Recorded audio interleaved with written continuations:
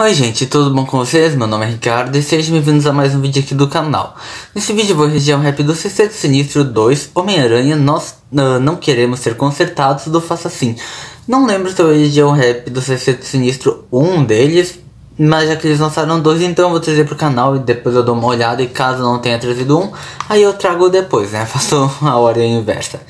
Mas enfim, estou bem curioso sobre essa música. Gosto muito dessa temática assim, de grupos de vilões normalmente. Não só de vilões, mas de vez em quando tem esses grupos em animes, grupos de vilões, grupos de heróis. É sempre uma coisa que me chama atenção, uma coisa que normalmente eu gosto bastante. Então estou realmente bem ansioso para ver o desse aqui. Até porque tem personagens que eu gosto, personagens que eu acho interessantes e também achei que o título combina muito bem com o, o que se passa ali no filme do Homem-Aranha, né? Nós não queremos ser consertados. Hum, ótimo título. Mas enfim, antes de dar continuidade ao vídeo, peço para que por favor se inscrevam no canal. A gente tem 6 vídeos novos aqui todos os dias, desde de manhã até de noite. Comenta aqui embaixo nos comentários o que vocês querem que eu traga pro canal, ok? Mas agora sim, vamos ver em 3, 2, 1 e já!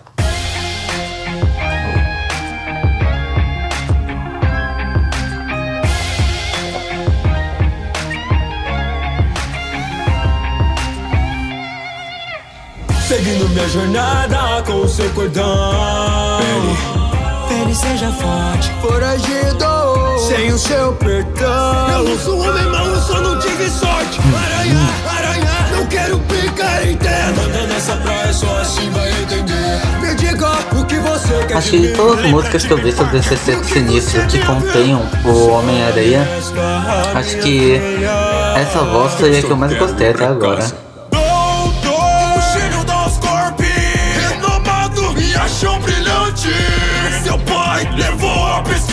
deixou furioso. Obrigado, Peter. Pessoas eu posso salvá-las Aumentando a força da companhia. Chegando a evolução Todos terão salvação Capitão Stacy, ele está sozinho sim. Em minhas mãos. Pobre, pobre Peter Parker. Nada vai impedir a salvação. Sem mãe, sem pai, sozinho.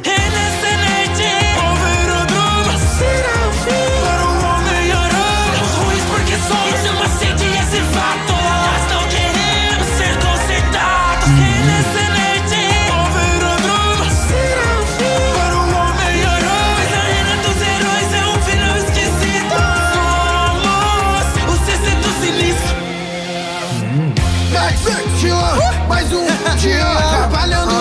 Phil essa voz também acho que combina muito bem com o. com o Electro. Eu caí naquele post que era seu amigo. Você mentiu pra mim. Esquentou seus olhos e. Agora eu estou aqui. Você não quer me salvar. Estou com. Vocês não vão me tirar. Hum, essa energia é diferente. E eu gosto disso. Adoro músicas assim com várias, uh, várias frases mesmo do filme. Rose, olha o rapaz.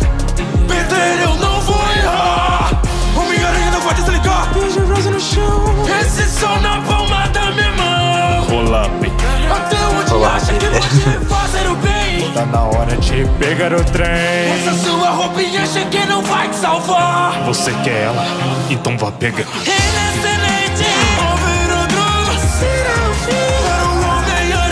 Cara, quem que ainda falta do Sucesso Sinistro e Duende Verde? E alguém que eu não consigo. Não, não sei quem seria o sexto membro. Seria Mistério, Venom, Abutre. Nossa, a voz Ninja combina muito bem com o Duende Verde. Eu que estou fora! Estendi a minha mão, você cuspiu na minha cara! Tudo, mas é fraco pra pegar. Escolha ela ou as pessoas, quem se decidiu salvar? Deus estou É sua última teia. Adeus, Homem-Aranha. O mal aqui Vamos ver se eu mesmo. Metade monstro, metade homem. É a diversão, vamos arrancar cabeças. Sabe quem eu sou? Mistério? Realmente, eu esperava que teria um mistério também. Passa de um trouxa, talvez fosse inteligente, mas acreditou na pessoa errada. Sua identidade, Agora todos sabem da todos vão acreditar. Minha é criação me chamou de. Pegou nas suas mãos. Nas suas mãos. Será que eu morri ou foi só uma ilusão? Ok, nossa, assim, uma música do Sexteto Sinistro teve mais participantes do que seis. A a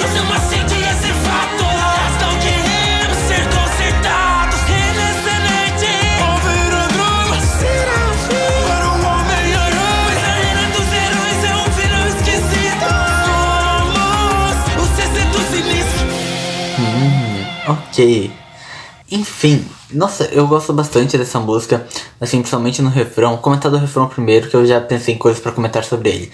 Gosto muito ali que no refrão ele cita o título da música, né? Nós somos o Sexteto Sinistro, bem no final do refrão, algo que soa muito bem. Adoro o nome, justamente quando é uma música sobre um personagem específico, na parte do refrão que termine com o nome do personagem. Mas como é uma música em grupo, e o nome do grupo seria Sexteto Sinistro. Citar assim justamente no final do refrão foi realmente muito bom, gostei bastante disso.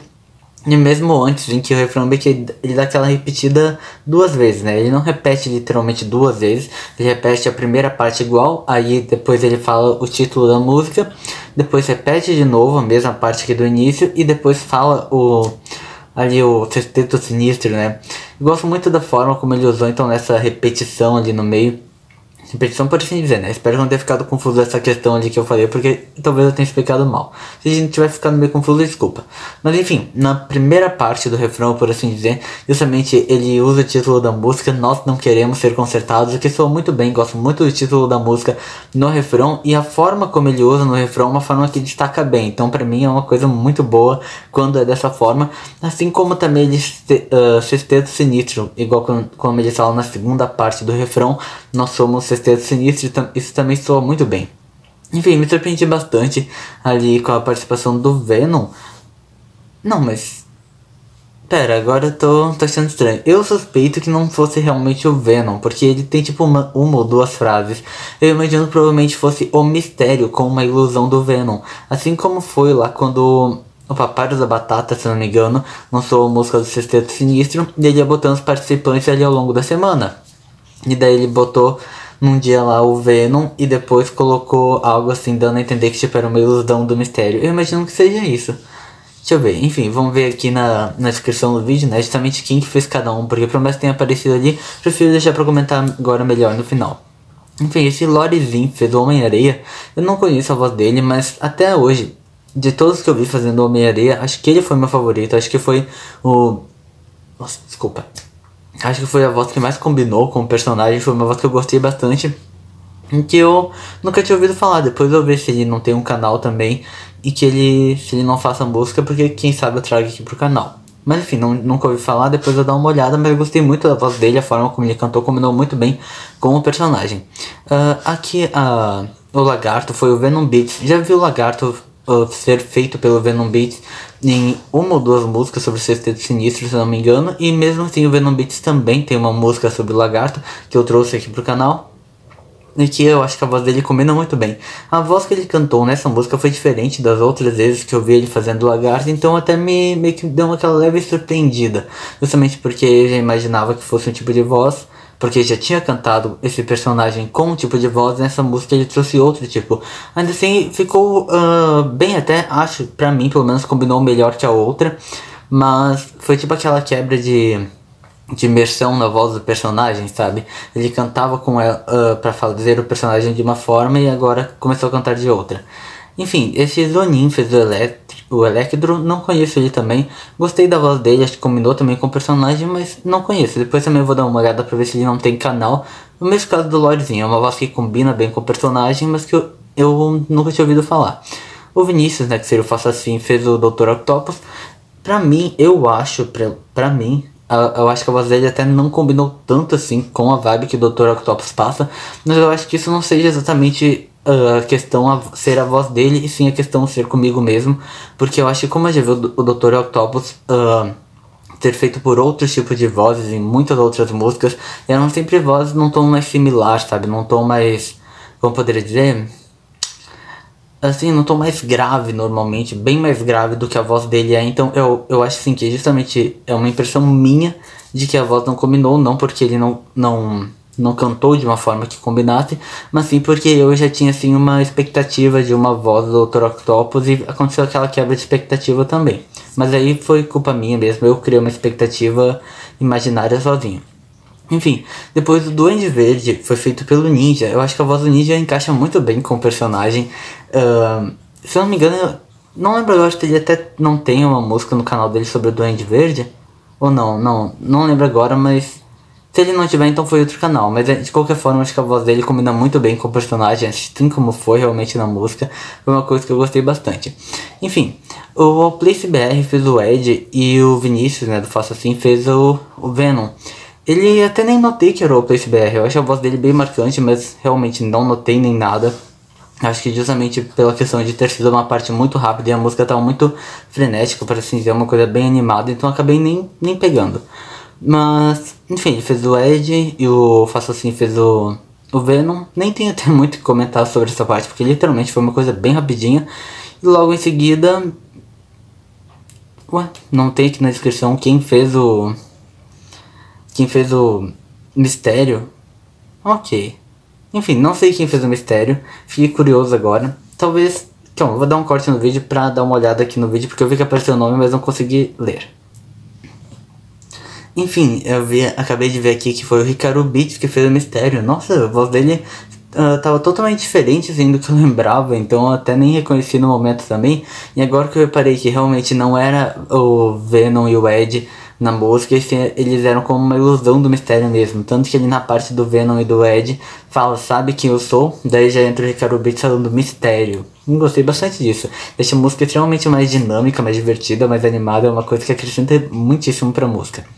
Enfim, sobre a música no geral, eu gostei bastante dela, adoro músicas com diálogos ou então frases marcantes do personagem, que foi o caso dessa música, literalmente a música inteira com muitas frases dos personagens, conversas que fazem completamente sentido com cada um, então foi uma coisa que eu gostei bastante.